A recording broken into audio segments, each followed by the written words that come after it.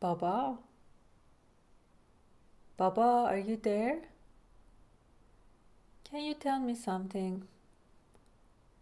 Can you tell me why we still love?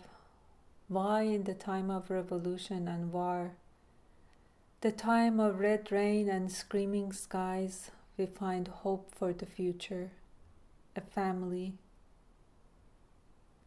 Baba, can you tell me about the time during the war when you were making temporary houses in the south? I missed you then. When the sirens went off, Aziz would take me to the air raid shelter. I had a backpack always ready to go. It had my paper and crayons so I could draw. One time when we got to the shelter, Aziz asked me to draw a tree. But I couldn't and started crying since I didn't have the color green. That's the day Aziz taught me how to make green with yellow and blue. She never smiled, but I knew she was happy when I stopped crying and drew a tree. Baba, I think maybe she didn't smile because she had seen too much. She pulled her hope inside. But it was okay. We liked being quiet with each other. I still missed you though. You were always smiling. Baba, I think maybe the other reason Aziz didn't smile is she had five sons. I'm glad you were one of those sons, the little one at the end, always smiling. I miss you and the uncles. But I love our Skypes on Sunday, the recaps of our days that always wind their way into politics, the revolution, Mossadegh, of how dreams get flushed away. زمان فکر کنم چرچیل بود. اینا همچنان یا حالا یادم نیست که اون نخست وزیرشون کی بود. آیزنهاور آیزنهاور به زمان آیزنهاور نبود. وزیر خارجه که می اومد ایران اسمش ترومن بود. همون زمان ترومن بود که هنوز ظاهرا. Baba, do you know what they called the coup in 1953? Operation Ajax. Seriously. Like a whitewash or bleach, stronger than dirt. Baba, did you know that when a constant stream of water washes a plant, it kills it? It strips the life away. It seems strange that water, the source of life, can do that. But dirt is life too.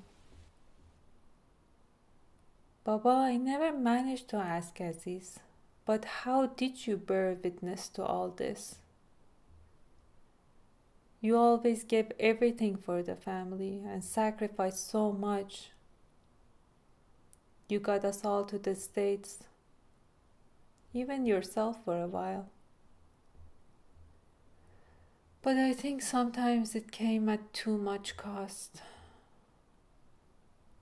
How did you do that and still manage to laugh like you did? Baba, why do I feel complicit in this madness?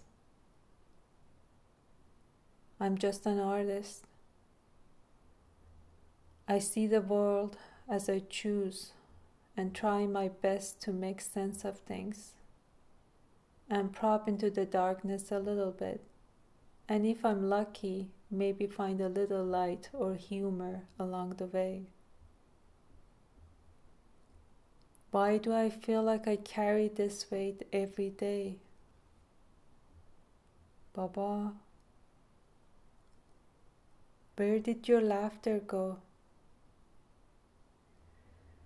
You were always laughing at the crazy politicians and finding humor in their little plots and intrigues.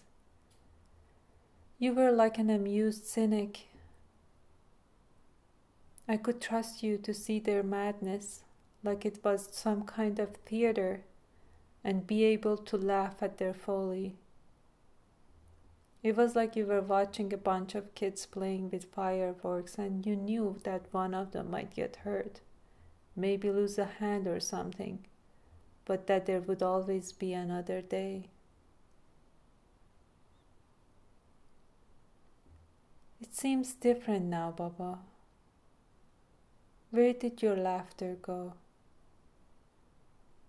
The sun is gone. It got so dark quickly. Baba, why is there always war? Afghanistan.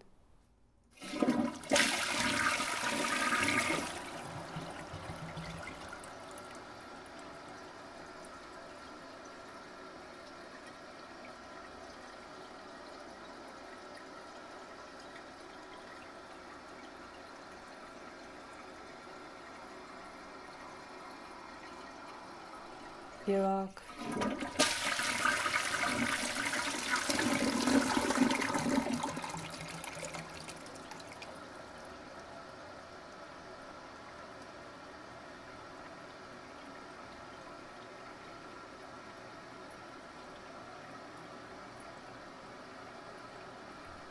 Syria.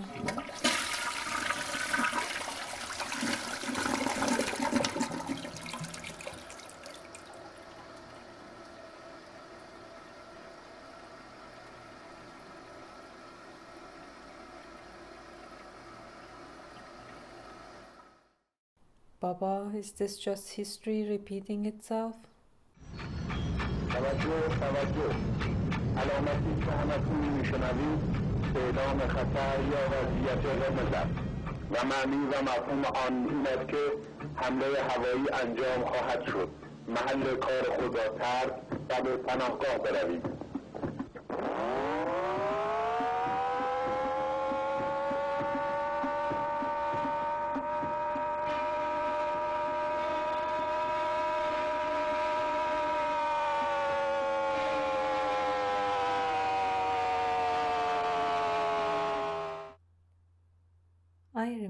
That siren. It was the same one you heard as a teenager. It's the one heard in any war by the women and children and the men who stayed behind. You look to the sky and run to the ground. It scared me then. It still does. It's quiet for now. The war is on another border. It's just the sanctions. It seems so vulnerable. The slow drip, like a closing vice on the fragile shell. It's like death in slow motion. Baba? Baba? Are you still there?